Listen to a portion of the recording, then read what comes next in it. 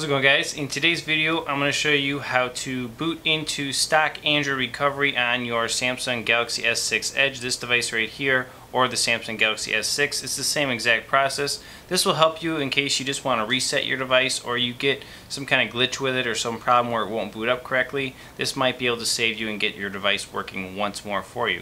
So on that note, let's go do this.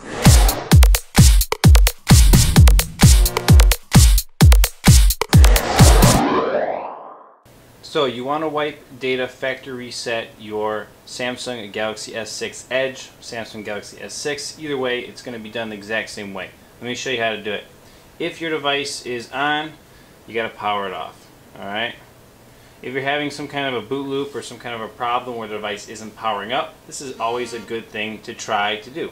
You can see mine's the T-Mobile variant. Alright, so to do this, you're going to do a couple things.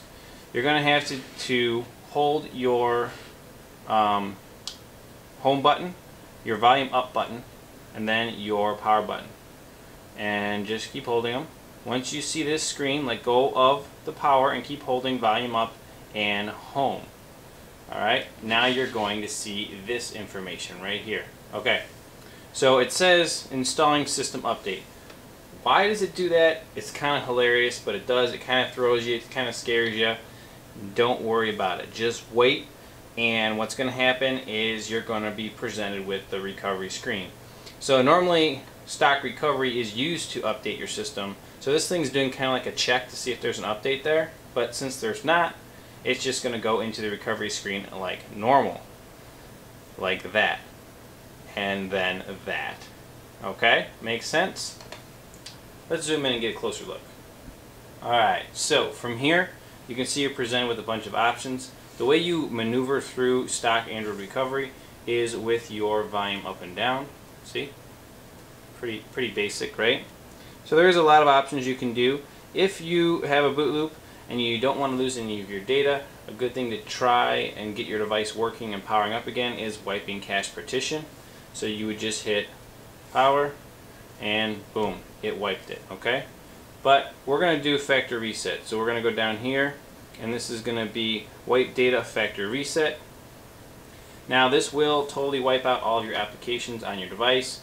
It'll be totally reset to like new and you just hit that button and you will go down here and it says yes delete all user data. Go ahead and scroll to it and highlight it. Yes I want to do that.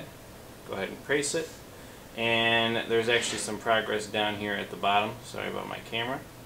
There you go and it says wipe data complete.